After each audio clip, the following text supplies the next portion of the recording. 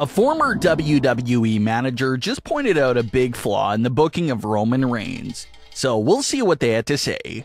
We'll also see what's going on with Paige, what Ronda Rousey had to say about Cody Rhodes, and much more. Let's start things off with this Ronda Rousey and Cody Rhodes topic. Ronda Rousey was recently asked about the possibility of Seth Rollins versus Cody Rhodes at WrestleMania, and had this to say about that matchup. Quote, the possibility of Seth and Cody, I'm excited about the possibility. I've never got to see Cody wrestle live. He left right before I got there. End quote. And that's true. Cody Rhodes was released in spring 2016, and Ronda Rousey came full time to WWE in 2018. So if Cody Rhodes does compete at this year's WrestleMania, it'll be the first live match that Ronda Rousey will watch from him. As far as everything with Ronda Rousey goes, she and Charlotte still have a pretty realistic chance to main event night one of WrestleMania. Reports claim that the only main event that's truly locked in at the moment is Roman Reigns vs. Brock Lesnar at night two of WrestleMania. That's been locked in for a really long time, but night one's main event is still up in the air. Originally, reports claimed that Ronda Rousey and Charlotte Flair was the main event of night one, but then other reports came out and said that Kevin Owens and Stone Cold Steve Austin were main eventing Night 1.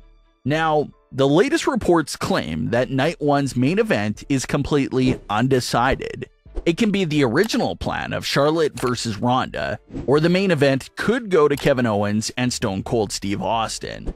The plans for Night 1 main event may change several times within the next few days. So until the day comes or WWE confirms a main event themselves, no one's going to have any idea about what closes out night one of WrestleMania 38. Paige came into NXT right around 20 years old and appeared to be one of the most promising young superstars for WWE. And only a couple of years after signing with WWE, Paige was already on Raw after WrestleMania, pinning AJ Lee for a WWE Championship during her first night on the main roster. You usually don't see a new 21 year old superstar coming in and pinning established stars for titles during their first night on the main roster. Definitely not something you see every day. So it was a sign that Paige was going to be special and that WWE was behind her.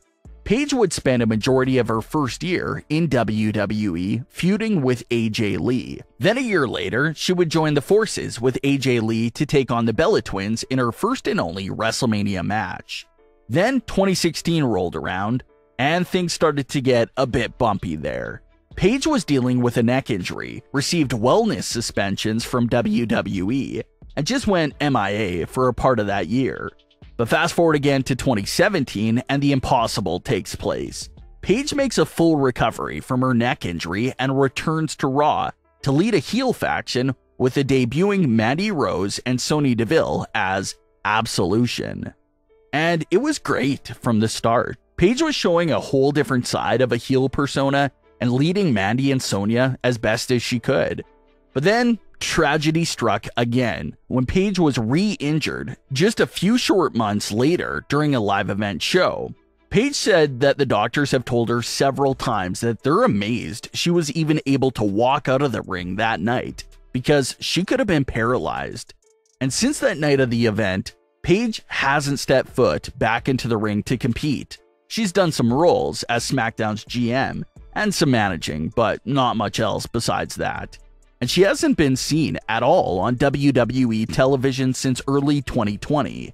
But even going through two career ending injuries, fans are still holding out hope for Paige's return one day. The list of Miracle Wrestling returns continues to grow so often.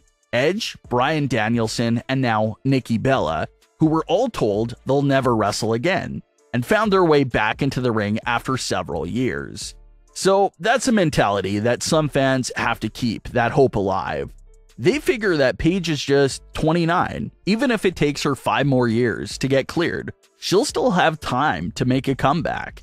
A fan recently asked Paige about what she personally wanted. They mentioned how the fans always talk about wanting to see her return, but no one ever asked Paige what she wanted herself. Paige replied to the tweet by simply saying, I want to wrestle again. Paige also added this comment to fans who were comparing her to the likes of Edge and Bryan. She had this to say about that topic, quote, It's wild that some people are like, well, Edge and Bryan came back, you are just lazy. I'm inspired by them. I'm not lazy. My neck needs to recover. We are all built different. Sorry. End quote. And that's very true. It's motivational to see other wrestlers make a comeback after being told they'll never wrestle again. But just because one wrestler came back from a similar injury doesn't mean that everyone with the same injury will be able to come back. All bodies recover differently. Of course, before this year's Royal Rumble, there was several reports claiming that Paige was fully cleared to go, but as it turns out, it was a bogus report. So, the wait for Paige to return to the ring or return to WWE television in any way will have to continue for now. Former WWE manager Dutch Mantell recently spoke with James Romero. They talked about a big flaw surrounding the booking of Roman Reigns.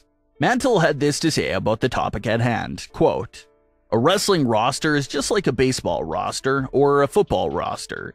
You've got to have a bench. You've got to have people who can step up and do the job. But they don't have a bench. After Roman Reigns, and I want to think for me now, who is the next main eventer that the SmackDown bench has? End quote. And he brings up a great point because it's true. In these other sports like the NFL and the NBA, every single position has a backup player for emergency situations.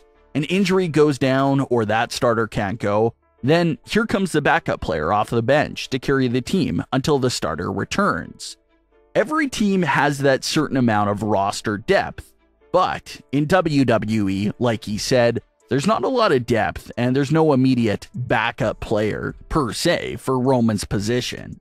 So if Roman gets a little banged up and needs some time to rest, there's no one they can really turn to and say, here, continue what Roman was doing. Sure, you have your few top guys like Drew McIntyre, but then the issue doesn't stop there. The issue will become, well, who will Drew McIntyre feud with? So it is a serious issue and flaw with the roster. It's Roman Reigns all the way at the top of the roster, with no one really on the same level, and then the rest of the roster underneath him.